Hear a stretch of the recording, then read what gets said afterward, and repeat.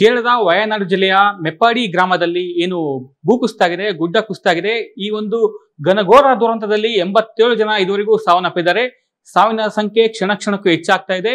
ಇನ್ನೂ ಹೆಚ್ಚಾಗುವಂತಹ ಸಾಧ್ಯತೆ ಕೂಡ ಹೆಚ್ಚಾಗಿದೆ. ಏನು ಭಾರತೀಯ ಸೇನಾ ಆಗಿರ್ಬೋದು, ಎನ್ ಡಿ ಆರ್ ಎಫ್ ಆಗಿರ್ಬೋದು, ಹಾಗೆ ಏನು ಕೇರಳದ ಏನು ಲೋಕಲ್ ಏನು ರಕ್ಷಣಾ ಸಿಬ್ಬಂದಿ ಅಂದ್ರೆ ಅವರು ಕೂಡ ಅಲ್ಲಿ ಸ್ಥಳಕ್ಕೆ ಧಾವಿಸಿರುವಂತದ್ದು, ಅವರು ಕೂಡ ರಕ್ಷಣೆಯನ್ನ ಮಾಡ್ತಾ ಇದ್ದಾರೆ. ಬಟ್ ಏನಂತಂದ್ರೆ, ಈ ಒಂದು ಭೂಕುಸಿತ ಆಗಿರುವಂತದ್ದು ಪ್ರಮುಖವಾಗಿ ಮೂರು ಗ್ರಾಮಗಳ ಮೇಲೆ. ಈ ಒಂದು ಮೂರು ಗ್ರಾಮಗಳ ಸ್ಥಿತಿ ಹೇಗಿತ್ತು? ಮೊದಲಿಗೆ ಹೇಗಿತ್ತು? ಈಗ ಹೇಗಿದೆ? ಏನು ಬೆಳಗಿನ ಜಾವ ನಾಲ್ಕು ಹತ್ತರ ಸುಮಾರಿಗೆ ಇದ್ದಕ್ಕಿದ್ದಂತೆ ಏನು ಭೂ ಭೂಕುಸಿತ ಆಗುತ್ತೆ ಅಂದ್ರೆ ಗುಡ್ಡ ಕುಸಿಯುತ್ತೆ.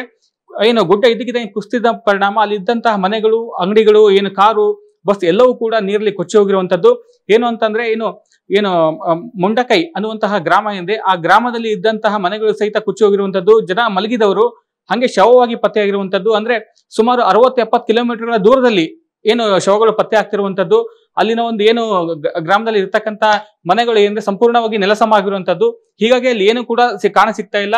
ಸಂಪೂರ್ಣವಾಗಿ ಜಲಾವೃತವಾಗಿರುವಂತದ್ದು. ಅಂದ್ರೆ ಇನ್ನೊಂದು ಪ್ರಮುಖವಾಗಿ ಏನು ಗುಡ್ಡ ಮೆದು ಮಣ್ಣು ಆಗಿರುವಂತಹ ಕಾರಣದಿಂದಾಗಿ ಆ ಮಣ್ಣು ಸಂಪೂರ್ಣವಾಗಿ ಜರಿದೆ ಹೀಗಾಗಿ ಏನು ಅಲ್ಲಿ ಸಂಪೂರ್ಣ ಕೆಸರು ಮಧ್ಯೆ ಕೆಸರು ಗದ್ದೆ ಆಗಿರುವಂತದ್ದು ಹೀಗಾಗಿ ಅಲ್ಲಿ ಏನು ಎನ್ ಡಿ ಆರ್ ಎಫ್ ಆಗಿರ್ಬೋದು, ಭಾರತೀಯ ಸೇನೆ ಆಗಿರ್ಬೋದು ಕಾರ್ಯಾಚರಣೆ ಮಾಡೋದಕ್ಕೂ ಕೂಡ ಸಾಧ್ಯ ಆಗ್ತಾ ಇಲ್ಲ. ನಾನೀಗ ಏನು ಒಂದು ದೃಷ್ಟಿಯಲ್ಲಿ ಗೂಗಲ್ ಮ್ಯಾಪ್ ಅಲ್ಲಿ ತೋರಿಸ್ತಾ ಇದ್ದೀನಿ. ಅಂದ್ರೆ ಈಗ ಯಾವ ಗ್ರಾಮದಲ್ಲಿ ಏನಾಯ್ತು, ಹೇಗಾಯ್ತು, ಈ ಘಟನೆ ಹೆಂಗಾಯ್ತು ಅನ್ನುವಂಥದ್ದು ಸಂಪೂರ್ಣ ನಾನು ತೋರಿಸ್ತಾ ಹೋಗ್ತೇನೆ ಈಗ. ಏನು ಪ್ರಮುಖವಾಗಿ ಏನಂತಂದ್ರೆ ಮುಂಡಕೈ ಅಂತ ಏನು ಈ ಗ್ರಾಮ ಇದೆ. ಇಲ್ಲಿ ನಾವು ನೋಡ್ಬೋದು, ಇದೇ ಗ್ರಾಮದಲ್ಲಿ ಆಗಿರುವಂತದ್ದು ಪ್ರಮುಖವಾಗಿ.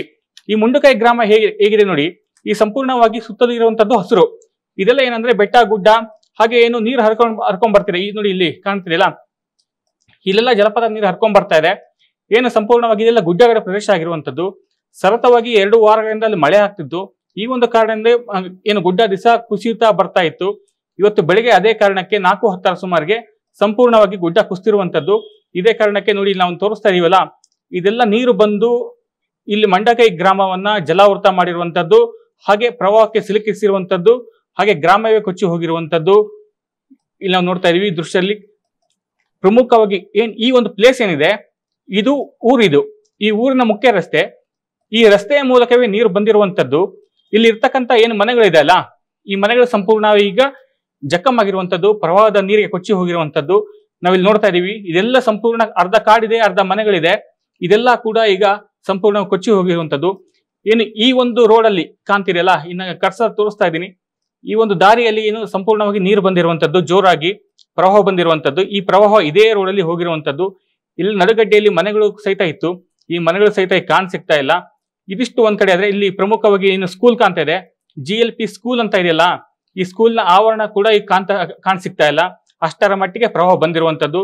ಇಲ್ಲೆಲ್ಲ ಕೆಸರು ಗಡ್ಡೆ, ಗದ್ದೆಯಿಂದ ಕೂಡಿರುವಂತದ್ದು. ಇಲ್ಲೆಲ್ಲ ಈಗ ಏನೂ ಸಹಿತ ಕಾಣ ಇಲ್ಲ. ಇನ್ನೊಂದು ಏನಂತಂದ್ರೆ, ಇಲ್ಲಿ ನೋಡಿ, ನಾವು ಅಕ್ಕಪಕ್ಕದಲ್ಲಿ ನೋಡಿ ನೋಡ್ತಾ ಇರುವಂತದ್ದು ಸಂಪೂರ್ಣವಾಗಿ ಇದೆಲ್ಲ ಏನು ಕೃಷಿ ಭೂಮಿ ಆಗಿದೆ ಹಾಗೆ ಅರಣ್ಯ ಆಗಿದೆ. ಈ ಅರಣ್ಯ ಹಾಗೂ ಗುಡ್ಡಗಾಡು ಪ್ರದೇಶದಿಂದ ನೀರು ಬಂದಿರುವಂತದ್ದು. ಹಾಗೆ ಇಲ್ಲಿ ಒಂದಿಷ್ಟು ಏನು ಕಲ್ಲು ಬಂಡೆಗಳು ಸಹಿತ ಇದ್ವು. ಈ ಕಲ್ಲು ಬಂಡೆಗಳು ಸಹಿತ ಸಂಪೂರ್ಣವಾಗಿ ಈ ಒಂದು ಗ್ರಾಮಕ್ಕೆ ಬಂದಿರುವಂತದ್ದು. ಅಂದ್ರೆ ಇಲ್ಲಿ ಮನೆಗಳ ಮೇಲೆ ಬಿದ್ದಿದೆ, ಇಲ್ಲಿ ಅಂಗಡಿಗಳ ಮೇಲೆ ಬಿದ್ದಿದೆ, ಬಸ್ಸು, ಕಾರು ಇದೆಲ್ಲದರ ಮೇಲೆ ಬಿದ್ದಿರುವಂತದ್ದು ಬಂಡೆಗಲ್ಲುಗಳು. ಹೀಗಾಗಿ ಏನು ರಕ್ಷಣಾ ಕಾರ್ಯಾಚರಣೆ ಕೂಡ ಮಾಡೋಕೆ ಕಷ್ಟವಾಗ್ತಿದೆ. ಅಂದ್ರೆ ಏನು ಇಲ್ಲಿ ಒಂದಿಷ್ಟು ನಾನು ತೋರಿಸ್ತೇವೆ ವಿಜುವಲ್ ಇದೇ ಥ್ರೂ ಮಳೆ ನೀರು ಅಂದ್ರೆ ಪ್ರವಾಹದ ನೀರಿಗೆ ಮುಂದೋಗಿರುವಂತದ್ದು. ಇದೇ ಕಾರಣಕ್ಕೆ ನೋಡಿ ನಾವು ಅಟ್ಟಮಾಲ, ಇಲ್ಲಿ ಒಂದು ವ್ಯೂ ಪಾಯಿಂಟ್ ಇದೆ. ಈ ಅಟ್ಟಮಾಲ ಗ್ರಾಮ ಕೂಡ ಏನು ಪ್ರವಾಹಕ್ಕೆ ತುತ್ತಾಗಿರುವಂತದ್ದು ಅಟ್ಟಮಾಲ ಗ್ರಾಮ ಇದು. ಈ ಗ್ರಾಮದಲ್ಲಿ ಕೂಡ ಸಾಕಷ್ಟು ಪ್ರವಾಹ ಬಂದಿರುವಂತದ್ದು ಗುಡ್ಡಗಡ ಕುಸ್ತಿರೋ ಪರಿಣಾಮ ಈ ಗ್ರಾಮಕ್ಕೂ ಭಾರಿ ಎಫೆಕ್ಟ್ ಆಗಿರುವಂತದ್ದು ಅಂದ್ರೆ ಇಲ್ಲಿ ಬಹಳಷ್ಟು ಮನೆಗಳಿಲ್ಲ, ಅದೊಂದು ಬಚಾವ್ ಆಗಿರುವಂತದ್ದು ಇದು ಕೂಡ ಏನಂತಂದ್ರೆ ಅಟ್ಟಮಾಲ ಅನ್ನುವಂಥದ್ದು ಏನು ಒಂದು ಪ್ರವಾಸಿಗರ ತಾಣ ಆಗಿರುವಂತದ್ದು ಇಲ್ಲೊಂದಿಷ್ಟು ರೆಸಾರ್ಟ್ಗಳಿದೆ.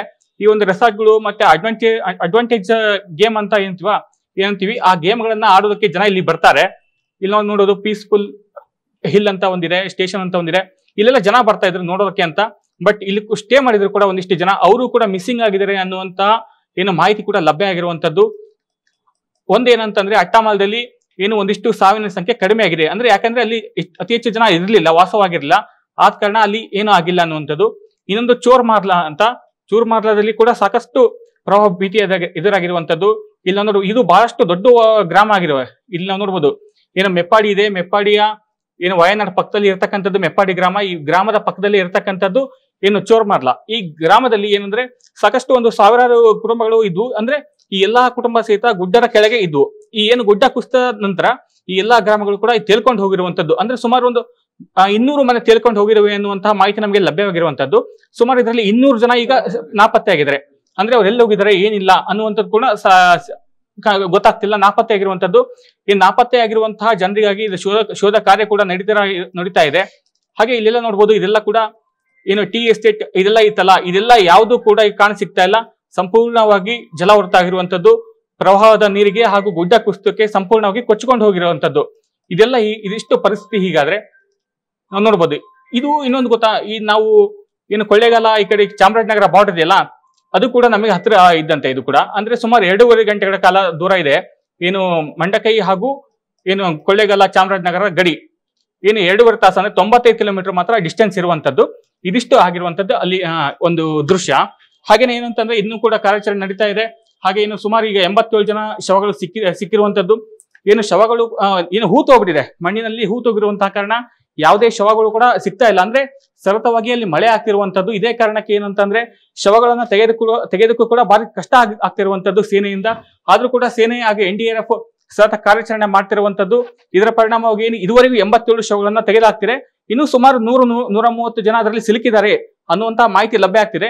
ಏನು ಅಕ್ಕಪಕ್ಕದ ಏನು ಏನು ನದಿ ಇದೆಯಾ ಅಲ್ಲಿ ನದಿಗೆಯಲ್ಲಿ ಏನು ಶವಗಳು ಸಿಗ್ತಾ ಇರುವಂತದ್ದು ಅಂತ ಮಾಹಿತಿ ಸಿಗ್ತಾ ಇದೆ ಸದ್ಯದ ಮಟ್ಟಿಗೆ. ಏನು ಅಂತಂದ್ರೆ ಯಾವುದೇ, ಅಂದ್ರೆ ಈಗ ಅಲ್ಲಿನ ಒಂದು ಮೆಪ್ಪಾಡಿ ಒಂದು ಗ್ರಾಮ ಪಂಚಾಯಿತಿಯ ಆರೋಗ್ಯ ಇಲಾಖೆ ಏನಿದೆ, ಅಲ್ಲಿ ಶವಗಳನ್ನ ಇರಿಸಲಾಗ್ತಿದೆ, ಎಂಬತ್ತೇಳು ಶವಗಳಲ್ಲಿದೆ. ಅಂದ್ರೆ ಅಲ್ಲಿನ ಕುಟುಂಬಸ್ಥರು, ಅಂದ್ರೆ ಇದು ನಮ್ದೇ ಶವ ಅಂತ ಕಂಡಿಡಿಯಕ್ಕೆ ಸಾವಿರಾರು ಜನ ಸೇರಿರುವಂತದ್ದು ಅಂದ್ರೆ ಒಂದು ಆಂಬುಲೆನ್ಸ್ ಬಂತು ಅಂದ್ರೆ ಸಾಕು, ಅಲ್ಲಿ ಸಾವಿರಾರು ಜನ ಸೇರ್ತಾರೆ. ಯಾಕಂದ್ರೆ ಈ ಒಂದು ಶವ ನಮ್ಮ ಕುಟುಂಬಕ್ಕೆ ಸೇರಿದ, ನಮ್ಮ ಅಪ್ಪಂದ ಅಮ್- ಅಮ್ಮಂದ, ಅಣ್ಣಂದ ಅನ್ನುವಂಥದ್ದನ್ನ ಗುರ್ತಿಡಕ್ಕೂ ಸಹಿತ ಕಷ್ಟಪಡ್ತಿರುವಂಥದ್ದು. ಅಂದ್ರೆ ಸಾಕಷ್ಟು ಜನ ಅಲ್ಲಿ ಸೇರಿರುವಂತದ್ದು ಇನ್ನೊಂದು ಬಂಡೆ ಕಲ್ಲುಗಳು ಕೂಡ ಅಲ್ಲಿ ಏನು ಕಾರ್ಯಾಚರಣೆಗೆ ಅಡ್ಡಿಪಡಿಸಿರುವಂಥದ್ದು. ಆದ್ರೂ ಕೂಡ ನಿರಂತರ ಮಳೆಯಲ್ಲೇ ಏನಂತಂದ್ರೆ ಒಂದು ಕಾರ್ಯಾಚರಣೆ ವೇಗವಾಗಿ ಮಾಡ್ತಾ ಇದ್ದಾರೆ. ಯಾಕಂತಂದ್ರೆ ಅತಿ ದೊಡ್ಡ ಒಂದು ಘನಘೋರ ದೃಶ್ಯ, ದುರಂತ ಆಗಿರುವಂತಹ ಕಾರಣದಿಂದಾಗಿ ಕಾರ್ಯಾಚರಣೆ ಬೇಗ ಮಾಡಲೇಬೇಕು. ಇದಕ್ಕೆ ಪ್ರಧಾನಿ ಮೋದಿ ಆಗಿರ್ಬೋದು, ಅಲ್ಲಿನ ಸಿಎಂ ಪಿಣರಾಯಿ ವಿಜಯನ್ ಆಗಿರ್ಬೋದು, ಸುರೇಶ್ ಗೋಪಿ, ಸೆಂಟ್ರಲ್ ಮಿನಿಸ್ಟರ್ ಆಗಿರ್ಬೋದು, ರಾಹುಲ್ ಗಾಂಧಿ ಆಗಿರ್ಬೋದು, ಎಲ್ಲರೂ ಕೂಡ ಅಲ್ಲಿನ ಸರ್ಕಾರ ಜೊತೆ ಇದ್ದಾರೆ, ಮಾತಾಡ್ತಿದ್ದಾರೆ.